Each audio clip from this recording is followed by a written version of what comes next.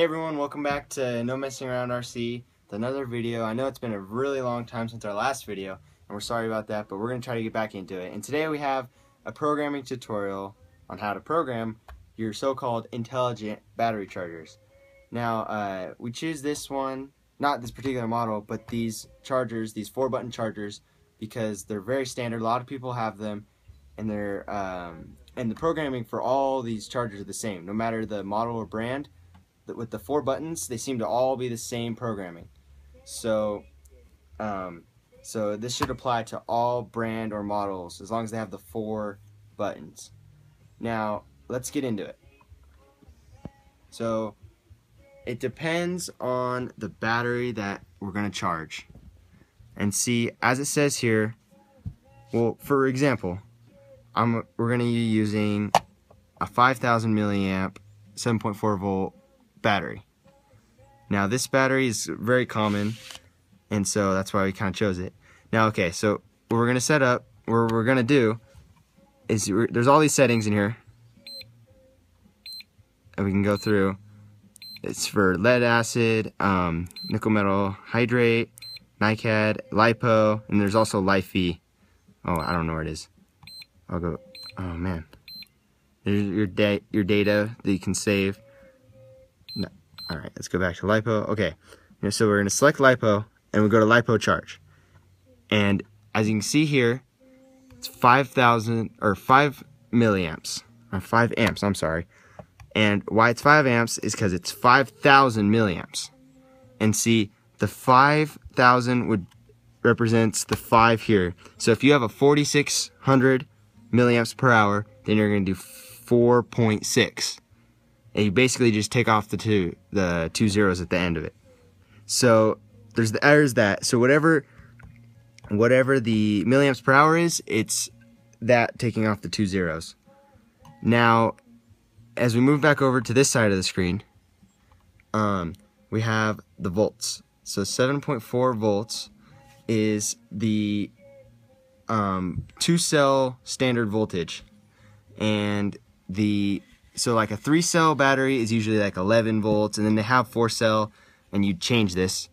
So to change the value is um, we hit, we click that and then see if you use the increase and decrease to change this number. So if we had a different battery here, we would change that. Now to change the voltage, click it again, and then it should only have um, the three or four settings. It's one one cell, two cell, three cell, and four cell. I don't think there's a five cell. Oh, there is a five cell. Well, anyway, so that uh, you just have to choose your cells. And you can know the cells by, a lot of times it'll say, this one actually doesn't say. No, it doesn't. Oh yeah, it does right there, it's scratched out. It does say, but you can always know by the voltage. Um, voltage right here. The voltage will either be 7.4 to be two cells, or as it says here, 11 for three, and you, so you'll know that there. Okay, so that's how you charge it, and that those are the values on the screen. Now, with um, it's it's the same. Let me put that back to what it is. Okay, and see when you that these batteries. Oh, I'm sorry. These chargers have lots of options. You know, lipo balance, lipo fast charge, um, lipo storage discharge, all these things, and they're all the same um, values for the battery. The discharge, all of it. The only thing that changes is the fast charge, and the fast charge it gets more complicated because you have to balance your milliamps per hour with your cells. Otherwise, it'll overheat and ruin your battery. So you have to balance how many amps you can charge it with how many C's, because that's the the discharge rate. So those are those are more complicated, and we'll get into that maybe some other time. Now, to program something maybe not a LiPo battery, we're going to go out back into settings, and then I have here a nickel metal, nickel metal battery, and um, this is also rather common, and it's pretty much the same deal with this, um, except that all you have to do is the amps, which this is not set up for this battery. So this is a 4200, so we would want to put it at 4.2.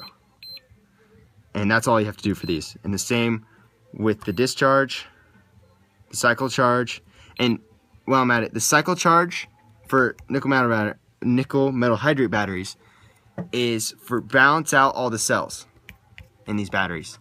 Because you know one one cell will have more power than less, and another one has less. One have more, and the other power the other cell has less. So with the balance charge is it creates all the cells to have the same amount of power in them, so that it's uh, consistent and you can get a full charge and a full discharge from it.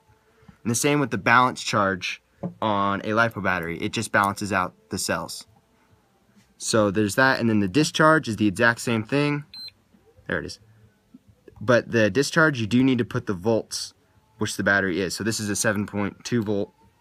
So you need to put that here, which is, it's not right. But um, when you program it, you have to change that. And that should be that for that. We thank you for watching this video. Hope we didn't bore you too much. And um, I hope that you like our video and comment. And um, if you have any questions or something we did wrong, tell us. If you have any ideas of things we should do with our equipment, tell us and we'll try to make that happen. Thanks for watching. Please subscribe and like. I can't believe we broke that thing. we left it there and then you push it off. We'll just edit that part out, right? Yeah, I guess.